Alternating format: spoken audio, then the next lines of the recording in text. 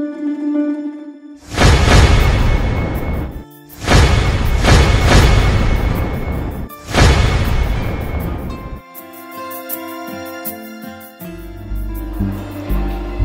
yolcularımız, bir yüzyıl boyunca Türk sivil havacılığına hizmet veren İstanbul Atatürk Havalimanı, bu akşam saat 02'de gerçekleştirilecek olan son uçuşun ardından tarifeli seferlere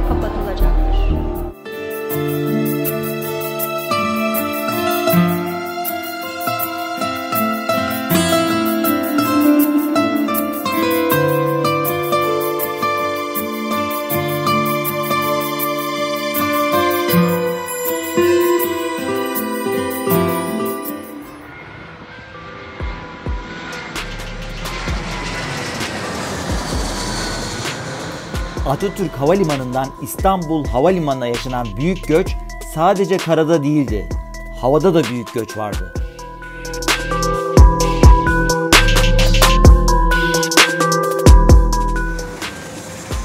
Atatürk Havalimanı'ndan kalkan uçaklar 8 dakikalık yolu giderek kuzeydeki İstanbul Havalimanı'na taşındı. Ancak burada çok önemli bir detay vardı. Hava yollarının büyük göçünde Atatürk Havalimanı'ndaki uçakların birçoğu nereye kaydırıldı bilin bakalım.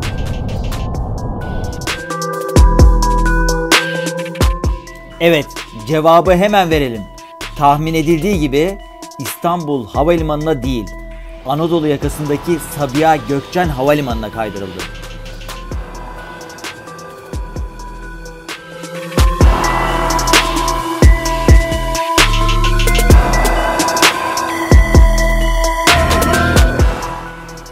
Sebebi İstanbul Havalimanı'nda yaşanabilecek aksaklığın minimuma indirilmesiydi. Visible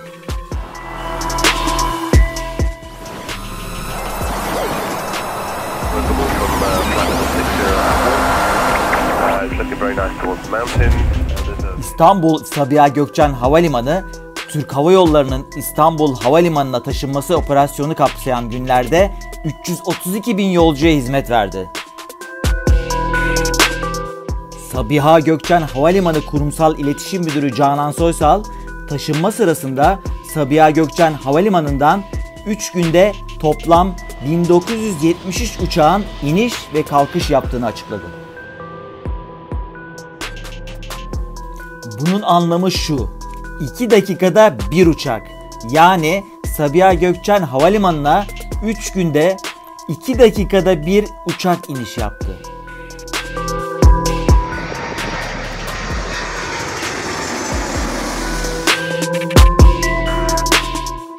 İstanbul Sabiha Gökçen Airport Otel'de bu tarihlerde doluluk oranı %100 oldu. Bir önceki videomuzda Sabiha Gökçen Havalimanı'nın yoğunluğunu gözler önüne sermiştik.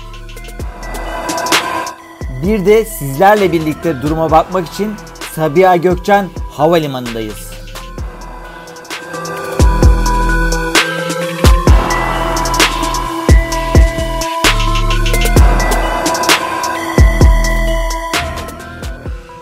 Yolda giderken Sabiha Gökçen Havalimanı'nın yanında inşa edilen yeni tünelden geçiyoruz.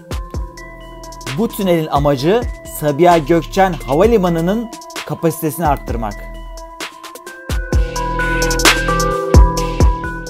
Ulaştırma ve Altyapı Bakanı Cahit Turhan, Sabiha Gökçen'in yeni pistinin 2020 Haziran'ında açılacağını söyledi. İşte bu tünel o pistin yapılmasına imkan vermesi için inşa edildi.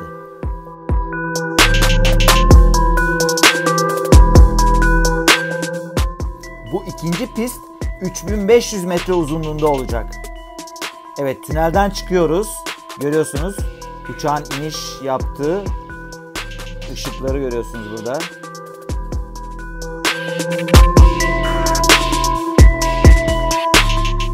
Herkese merhaba. Evet, bir hafta önce İstanbul'da 3 tane havalimanı vardı. Bir tanesi İstanbul Havalimanı, öbürsü Atatürk Havalimanı, bir de Anadolu yakasında Sabiha Gökçen Havalimanı. Atatürk Havalimanı kapanınca İstanbul Havalimanı ve Sabiha Gökçen Havalimanı kaldı geriye. Yani iki tane havalimanı. Bir tanesi Anadolu yakası, diğeri de yeni açılan İstanbul Havalimanı. Biz de bugün İstanbul Havalimanı karşı tarafta tek kalınca Sabiha Gökçen'in durumunu kontrol etmek üzere geldik. Havalimanına vardığımızda yoğunluk hemen göze çarpıyor.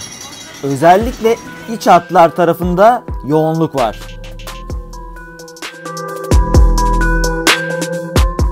Havalimanında bulunduğumuzda en az yoğunluğun olduğu saate denk geldik. Ona rağmen bir hayli kalabalık. Büyük ihtimal yeni havalimanı yerine iç hatlar için yolcular Sabiha Gökçen'i tercih etmiş.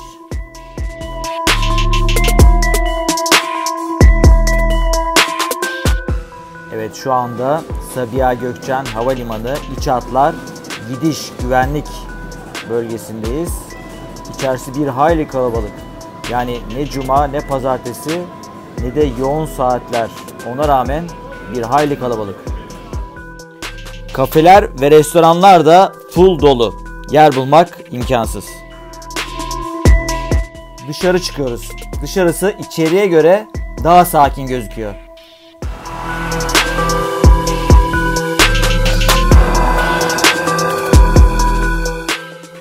İstanbul Havalimanı'nın tam kapasiteyle çalışmasıyla birlikte buradaki uçaklar yavaş yavaş yeni havalimanına doğru kaydırılacak.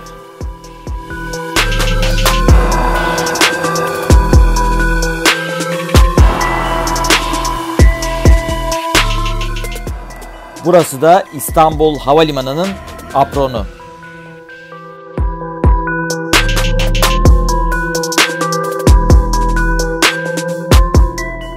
Sabiha Gökçen Havalimanı kapasite arttırımı ile birlikte Anadolu yakasında hizmet vermeye devam edecek.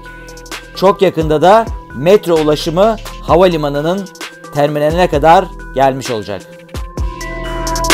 Bir videomuzun daha sonuna geldik. Yorum yapmayı ve üye olmayı sakın unutmayın. Öbür videoya kadar hoşçakalın.